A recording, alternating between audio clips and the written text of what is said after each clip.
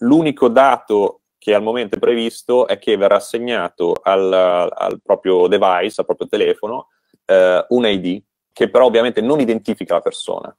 Non è vero che sono anonimi, io discuto e, e, pongo un grosso interrogativo sull'anonimizzazione. Quando diamo dati per un certo proposito, non abbiamo necessariamente la consapevolezza che quei dati verranno condivisi con terze parti. Tutto quello che sta avvenendo avviene anche in un sostanziale quadro di mh, ehm, soppressione della trasparenza. Abbiamo accettato anche delle misure che invece con la salute pubblica non c'entrano niente. Quanta fiducia i cittadini italiani hanno nelle istituzioni? L'algoritmo di analisi dei dati quanto incide sulla vita e le scelte poi della società?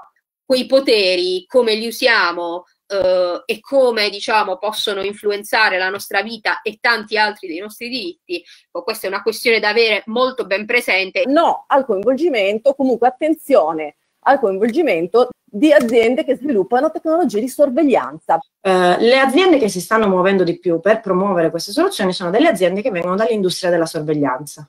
Palantir, che è una, una, una, una, di queste aziende. Con una sorta di Covid washing. Fino a quanto queste misure dureranno? Non si fermerà lì.